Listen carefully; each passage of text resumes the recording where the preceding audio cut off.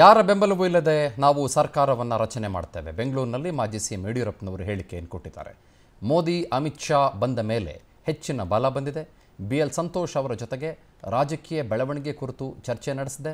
ಅವ್ರಿಗೂ ಕೂಡ ಪಕ್ಷಕ್ಕೆ ಬಹುಮತ ಸಿಗುವ ವಿಶ್ವಾಸ ಬಂದಿದೆ. ಹೀಗಂತ ಬೆಂಗಳೂರಿನಲ್ಲಿ ಮಾಜಿ ಮುಖ್ಯಮಂತ್ರಿಗಳು ಬಿ ಎಸ್ ಯಡಿಯೂರಪ್ಪನವರು ಹೇಳಿಕೆಯನ್ನು ಕೊಟ್ಟಿದ್ದಾರೆ. ಅದೇ ಪೊಲಿಟಿಕಲ್ ಸಿಚುವೇಶನ್ನು ಹೇಗಿದೆ, ವಾತಾವರಣ ಹೇಗಿದೆ, ಎಲ್ಲೆಲ್ಲಿ ಏನೇನು ಮಾಡಬೇಕು ಅಂತೇಳಿ ಅವ್ರು ಹಿರಿಯರಾಗಿ ಸಲಹೆ ಕೊಟ್ಟು ಹೋಗಿದ್ದಾರೆ. ಅದರಂತೆ ನಾವೆಲ್ಲ ಕಡೆ ಓಡಾಟ ಮಾಡ್ತಾ ಇದ್ದೀವಿ. ಸಂತೋಷ್ ಅವರು ಸಹ ತುಂಬ ಸಮಾಧಾನ ಇದೆ. ನಾವು ನೂರ ನಲವತ್ತಕ್ಕೂ ಹೆಚ್ಚು ಸೀಟ್ ಗೆಲ್ತೇವೆ ಅನ್ನೋಂಥ ವಿಶ್ವಾಸ ಅವ್ರಿಗೂ ಇದೆ. ಅದೇ ಪೊಲಿಟಿಕಲ್ ಸಿಚುವೇಶನ್ನು ಹೇಗಿದೆ, ವಾತಾವರಣ ಹೇಗಿದೆ, ಎಲ್ಲೆಲ್ಲಿ ಏನೇನು ಮಾಡಬೇಕು ಅಂತೇಳಿ ಅವ್ರು ಹಿರಿಯರಾಗಿ ಸಲಹೆ ಕೊಟ್ಟು ಹೋಗಿದ್ದಾರೆ. ಅದರಂತೆ ನಾವೆಲ್ಲ ಕಡೆ ಓಡಾಟ ಮಾಡ್ತಾ ಇದ್ದೀವಿ. ಸಂತೋಷ್ ಅವರು ಸಹ ತುಂಬ ಸಮಾಧಾನ ಇದೆ. ನಾವು ನೂರ ನಲವತ್ತಕ್ಕೂ ಹೆಚ್ಚು ಸೀಟ್ ಗೆಲ್ತೇವೆ ಅನ್ನೋಂಥ ವಿಶ್ವಾಸ ಅವ್ರಿಗೂ ಇದೆ. ಅದೇ